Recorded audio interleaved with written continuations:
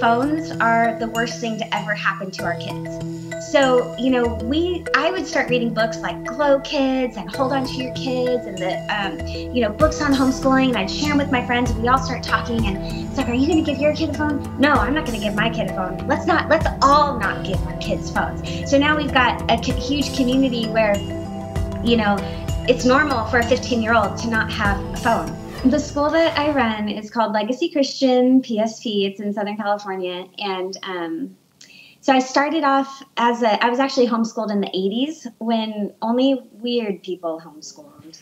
Wait a minute, um, you were homeschooled back in the '80s when when all the, the mothers had to wear jean long jean skirts. Yes. You were yeah. schooled yes. back then. I was, yes. Yeah. So my on the parents, prairie, yeah. my my dad actually would listen to talk radio. He's a huge fan of yours. He actually introduced me to you years ago. I started listening to your podcast. So um, many years yeah. ago. How many years ago so, could it be? I haven't been doing this that long, but thank you. Forever, but um, no. But anyway, so he was listening to the radio one day, and it was um, Dr. James Dobson was interviewing Raymond Moore and he was talking about homeschooling and my dad was just listening to this thinking wait you can take your kids out of school you don't have to send them to public school you don't have to send and, them to marxist indoctrination camps really right really exactly yeah. So anyway, so he convinced my mom. My mom was really against it. My um, brother was going to a private Christian school at the time, and so she went actually to the teacher and was like, My husband wants me to homeschool. Isn't that crazy? And the teacher was like, No, actually, you should. and that wow. was the last thing my mom expected to hear. Um, but basically, she said, You know, my brother is, was a quiet kid and he was falling through the cracks and he was getting punished by um, for not completing his work um, and he was told that he couldn't go out for recess and play. And so my mom really just started to uncover this, and she took a leap of faith, and then they yep. started homeschooling. So that well, was. I mean, just to sum up, if I can, what you were just saying is that that there's some times, and I, and I think this is rather often, but the point is that you know, we have a, like a one size fits all education system. And even yeah. in Christian schools, oftentimes there's there can be a semi woke agenda. I have experience. I sent my daughter to a Christian school, and the stuff that came back home with her sometimes, I was like, "What? Mm. What? Like, are you are you mm-hmm. kidding me? Like, you mean that the Christian teachers at your school are this dumb that they're teaching you stuff that I that I know is wrong?" And that can happen in Christian schools. And so there is no doubt in my mind that the best solution for, for everybody, mm-hmm. pretty much, mm-hmm. is homeschooling. That'd be my first choice. And when people ask me about what do I do with my kids or what do I get, homeschooling is almost always the best solution. This is not to put down all Christian schools. Some of them are good, but it's just interesting to me that your brother was in a Christian school, and you, your, your mother, as only parents can, had a sense that this is not ideal for him. Right. So um, I think that the traditional school model, there, it's it's not the best. It's not ideal. It can work in certain circumstances, but really, it's not the best. Uh, most ideal way to teach a children teach a child um, i had the privilege of actually studying at oxford university it was just a study abroad program for one semester wait which, you know, which university Oxford University in England. Oxford, never heard of it. I mean, is that an Oxford no, cloth no. shirt or a herringbone? Yes. Okay. it's no Yale. It's so, no Yale. Well, thank is, God. When I was there, you know, it's considered one of the greatest universities in the world. And um, when I was there, literally all we did was the the Don would, you know, assign a book to read, high quality literature, I would read the book, I would write a reflection essay, and then the next week we would go in and I would read this essay out loud, one on one. That's the best education our world can offer is reading high quality literature and having discussions. So parents think, "Oh, I can't do what they do in the classroom. Oh, the teacher's doing all this stuff."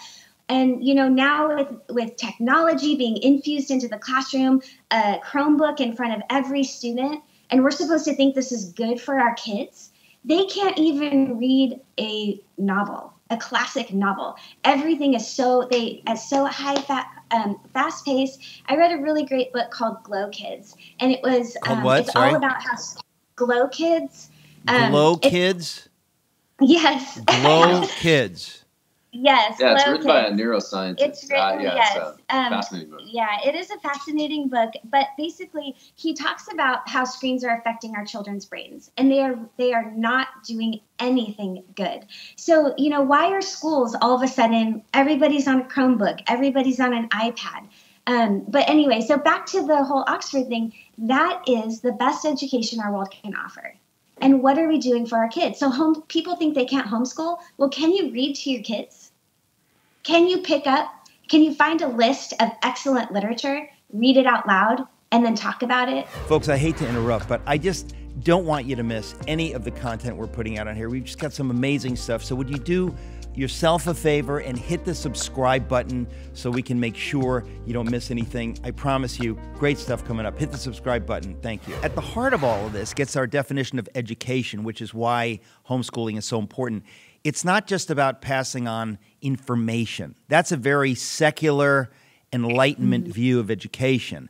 A Christian view of education, it's, it's about raising young men and women to be ladies and gentlemen, to have wisdom, uh, to understand that the Bible is the Word of God. I mean, all of that stuff ought to be and used to be at the heart of all education, um, but it's but it's not anymore in secular education, and it's you really cannot get an education if you avoid these basics. The basics of is there a God? Who am I in relationship to God? What is God's will? And that- used to be, you know, you mentioned Oxford. I mean, all the universities were founded by Christians centuries mm-hmm. ago. And this was at the heart of everything.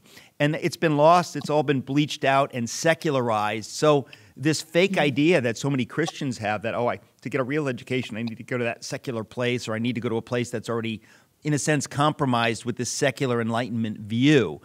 Uh, homeschooling stands utterly against that. And again, it's why I'm a fan. Legacy Christian, uh, PSP.com is the website. Legacy Christian. What is Legacy Christian? This is a network. Tell us about le- what, what this is. Yeah, so actually, so my parents, being the pioneers that they were, they decided to start this. Um, you know, they call it a co-op, um, but it's really a lot more than that. It really is a, a school. Um, so it started 27 years ago, and then I started helping out with it a few years ago to kind of, you know, bring it into the current century. Because, Wait a minute, wait a minute. uh, I wasn't really clear on this. So your parents are Bill and Marilyn Yes. Stephens. Yeah. right? Now I get it. So you're the daughter of pioneers. Yes, I am. And so, but it's interesting because I wanted to teach in the public school system and I did. And um, I'm not really sure why. I think I, I watched Dangerous Minds and thought I could make a difference and an impact on this, you Yeah. know, broken system. And I quickly realized I really, I couldn't. I mean, Yeah. I showed up literally 23 years old, public school, Title I school in California, which means it's low income. They put 36 students, 36 eighth graders in each five periods. I had over 200 students I was trying to teach English to at 23 years old. Yeah. Um, and so it was just an impossible. I can't believe you survived. You're alive. I You're barely alive and you look fine. I don't know how that happened, but that's like You that- that's incredible. Wow. Yeah, it was- 23. it's like they may as well have fed you to actual wolves. The idea of of And sweet I, you. I looked about 15 at the time too, so Yeah. that didn't help either. Um, but yeah, so just going into that scenario and then really looking, taking a close look at it and thinking, can I picture my kids here? Um, and I and I couldn't. Um, so when I when we had our first child, I actually quit teaching and um, stayed home. But I Mm. worked for a public charter school, um, which was really amazing um, to be able to work from home um, as a teacher. So that was really neat. But um, so then we had four boys, and I just really started doing this homeschool thing and building this incredible community of like minded parents. Um, you have to be so intentional nowadays because, you know, you can think everybody's getting along, and then what happens is, I'm telling you, Eric, phones are the worst thing to ever happen to our kids. So, you know, we I would start reading books like Glow Kids and Hold On to Your Kids and the um, you know, books on homeschooling and I'd share them with my friends and we all start talking and it's like, are you going to give your kid a phone? No, I'm not going to give my kid a phone. Let's not let's all not give our kids phones. So now we've got a huge community where you know, it's normal for a 15 year old to not have a phone, a smartphone. Um, to not have social media. We call them porn machines. but um, I mean, look, but let's anyway, let's be honest. Uh, phones are a gateway to every kind of dark thing, and the idea that children, I mean, it's like feeding your kids poison or, or letting your kids go to the, the candy store where they're getting poison and just going, well, you know, everybody's taking in poison.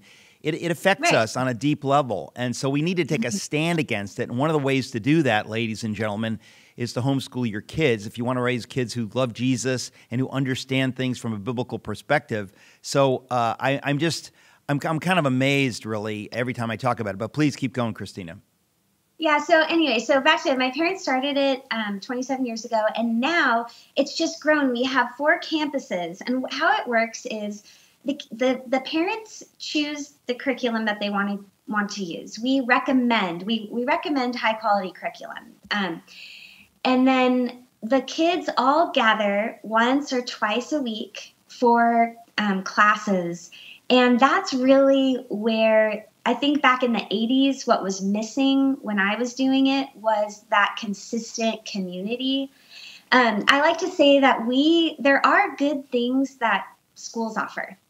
We like to take all those good things and offer that without all of the bad stuff. With the Marxism um, and the pornography, right? yeah, exactly. Yeah. What a great when you show idea. How do you do that? Yeah. when you show up to our campus, you know, you will see hundreds of teenagers talking, connecting, having fun without one cell phone in sight. Yeah. That's a really hard stance. That's that crazy taken. talk. I don't believe you. No, I that's so great. No. That is so great. They're talking. They're talking about like Dostoevsky though. Like you know what I mean?